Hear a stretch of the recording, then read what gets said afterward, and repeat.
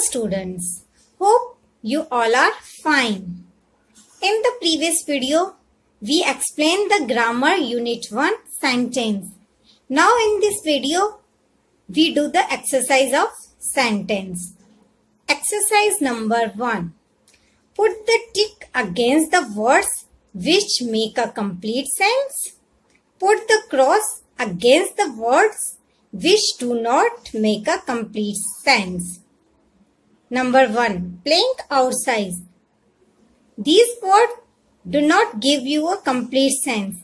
So we put the cross against it. In the morning also not give you a complete sense. So we put the cross against it. Sing a song. These words give you a complete sense. So we put the tick against it. Please go away.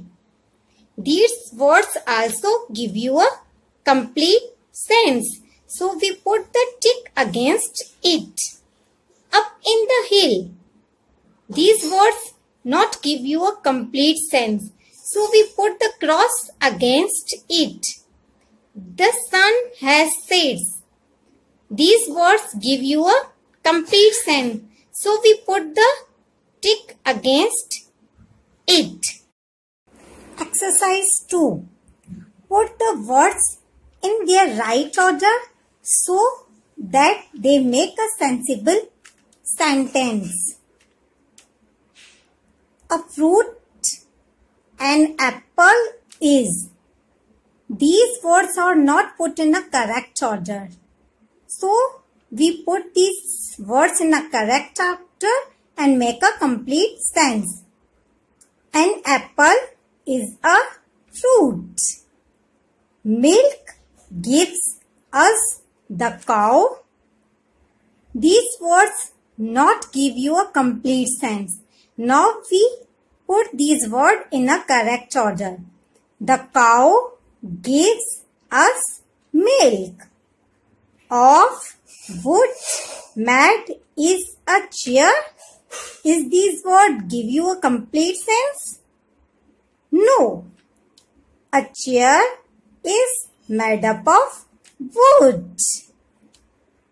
8. Is she years old? Are these words give you a complete sense? No. These words not give you a complete sense. Now we put in a correct order. She is 8 years old.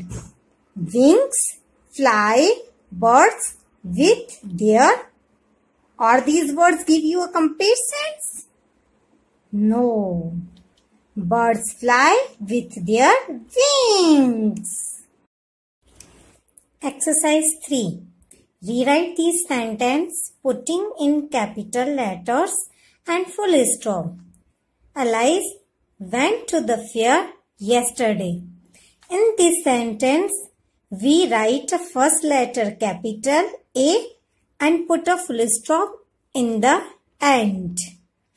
Ashok is 8 years old. We write a first letter capital of Ashok A and full stop in the end. There are 7 days in a week. We write a T capital and put a full stop in the end.